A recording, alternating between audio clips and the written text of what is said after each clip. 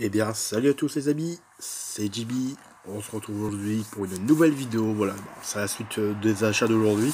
Parce que voilà, j'ai reçu aujourd'hui ma commande, euh, une commande que j'avais fait sur Rakuten. Euh, fait chier, j'ai toujours pas eu mon autre CD. Hein. J'avais commandé euh, chez un autre vendeur, aussi un import.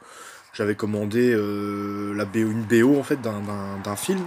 Et j'ai toujours pas reçu la BO. J'ai reçu la BO qui m'a coûté, enfin le CD qui m'a coûté le moins cher et j'ai toujours pas reçu mon, autre commande, donc j'espère qu'elle va arriver bientôt parce que là, euh, j'espère l'avoir la semaine prochaine, on verra bien.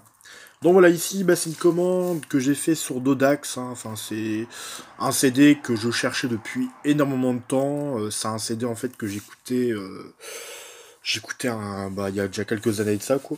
Et je l'avais pas encore en CD euh, physique. Et je me suis dit bah tiens je regarderai je regarderai bien parce que vu qu'on arrive bientôt en période de Noël en fait euh, je regarderai bien sur le net combien ça coûte ce genre de CD et franchement sur le prix bah le net c'était je pense que j'ai dû payer le truc euh, j'ai payé le CD à 6,96 avec les frais d'envoi compris. Enfin, je pense que la livraison était gratuite, je sais plus.